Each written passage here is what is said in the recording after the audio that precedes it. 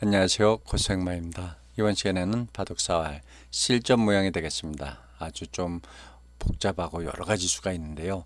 백에게 가장 뼈아픈 수. 아, 이 수는 참 웬만한 고수분들도 찾아내기가 힘들 것입니다. 과연 어떤 수들이 있을까요? 만년패도 나오고 뭐 패도 나오고 여러 가지가 나오는데요. 가장 뼈아픈 수 어떤 수가 수들이 있는지 알아보겠습니다. 실전에서 보통 두면은 뭐 이렇게 두지 않을까 생각합니다. 이건 어떻게 될까요? 잘 보십시오. 백이 사는 수를 한번 보겠습니다. 그러면 흙이 이렇게 두겠죠?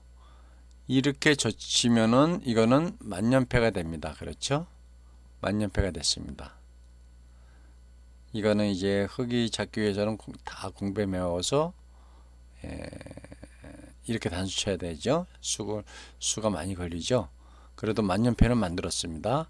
하지만 백이 여기서 이, 런 수가 있다는 걸 알아두십시오. 여기 붙이는 수. 어, 공배가 이렇게 많이 있을 때는 이 붙이는 수가 성립이 됩니다. 단수 치면은 뻗어서 비기 되죠. 그럼 이렇게 단수 치면은 이때 이거 죽습니다. 큰일 납니다. 이거 오공도로 이때는 이쪽을 뻗어서 나갑니다. 따면은 다시 따서 이 형태는 사는 형태가 됩니다. 이 연결해도 단수당해서 안 되죠. 그렇다고 이렇게 치는 거는 아이고 이거는 최대한 크게 살았습니다. 이거는 망했습니다. 여기 완전. 그러면은 자 여기서 이런 수는 어떨까? 이게 상당히 어려운 수인데요. 어, 이 수는요 잘 돼야 돼요 백이 여기서 이렇게 둔다. 이거는요. 이렇게 붙여서 아, 곤란해집니다. 음, 넘어가면 이건 전체 사활에 걸리는 폐가 되고요. 폐가 됐죠? 이거 폐가 됐습니다. 안 넘겨준다. 이렇게 두면요. 이거는 죽었어요. 오공도로 죽었어요. 여기 두면 죽었죠? 그렇다고 이거 두면 따서 죽었습니다. 오공도로. 이거 조심해야 돼요.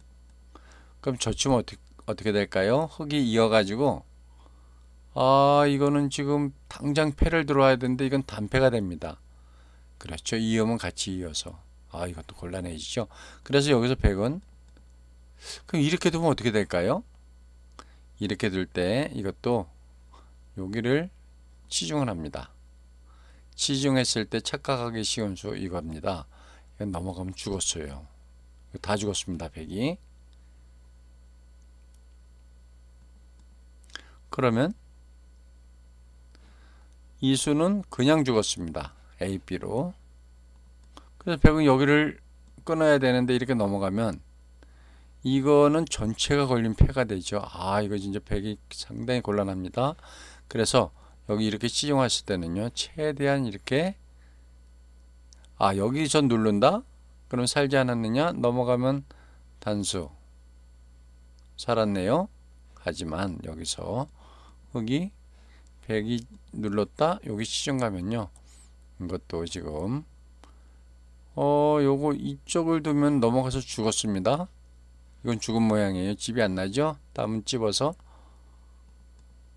그러면 여기를 놓게 되면은 넘어가면 이거는 그냥 아이고 이건 100이 상당히 곤란해졌죠? 그래서 치중 왔을 때는 최대한 궁도를 넓혀야 됩니다. 그럼 여기서 흙도 여기를 둬야 되는데 젖혀서 여기는 안 되죠. 여기 찝히니까 여기를 놔야 되는데 이거는 이제 백이 가만히 놔도 됩니다. 다른 데 두면은 흙이 잡기 위해서 이렇게 두는 거는 비기 돼서 안 돼요. 잡기 위해서는 이렇게 단수쳐야 되는데 이어주면 또 만년패가 됐죠. 예, 그래서 가장 이제 실전에서 이런 수, 이런 모양이 나왔다. 가장 백에게 뼈 아픈 수는 어떤 수가 있는지 알아보겠습니다. 이거 상당히 어려운 수예요. 가만히 젖힙니다. 그러면 백이 어 이거 살려줄래나 하고 안심하고 이거 젖혔을 때 안 막을 재, 재간이 없어요. 다른 데는 두면 죽습니다. 막아야 돼요. 자 이때 어떻게 해요? 이렇게 단수를 쳐버립니다. 그러면 백이 어라 이거 이런 수가 있어? 이거 따면은 여기를 붙입니다. 그러면 이게 단패가 됩니다. 아까 모양 나오죠? 이쪽을 뻗는 건 죽었어요. 이거는 아까 나왔 그대로 나오죠? 젖히면 여기 나서 아 이건 단패가 됩니다. 여기 안 들어갈 수가 없어요 지금 단패가 됐죠? 그 이쪽에서 치면 넘어가서 이것도 예, 단패가 됩니다. 그렇죠? 그래서 지금 젖혔을 때 놓으면 단수 그렇다고 이렇게 뒤에서 치면 따가지고요. 아이고 이거 이거 이음을 살지 않았느냐? 아이고 이거 사는 것 같아요. 여기를 치중하면은 죽었습니다. 단수 치면요 이어져서 따면은 치중 가면은 아이고 지금 이게 모양이 이상한 모양이 나왔네요. 그래서 자 요렇게 젖히고 놓을 때 단수 치면 어, 백이 이렇게 나야 되는데 따면은 이렇게 단수 쳐야 되는데 이거를 따면은 이것도 끼고 이거 후수로 살아서 이게 안 되겠죠. 아 이거는 아이고 그래서 이런 이런 수가 있다는 걸 아시면 되겠습니다. 가장 백한테 뼈 아픈 수는 젖히고 이렇게 단수 치는 수. 아, 요 수를 아시면은 이 실전에서 찾기가 힘든 수입니다. 위에서 누른다?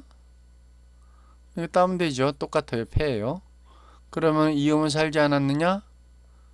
이거는요. 아까처럼 여기 치중감은 아, 이 이음 죽어요. 이음은 단수 쳐도 치중.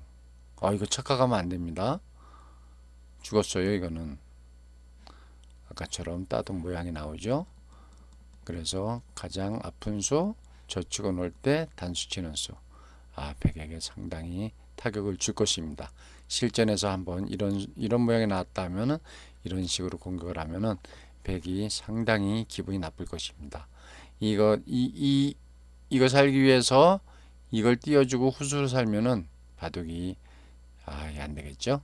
자, 이렇게 해서 실전 모양에서 백에게 가장 아픈 수, 뼈 아픈 수를 알아봤습니다. 그러면 다음 시간까지 안녕히 계십시오. 감사합니다.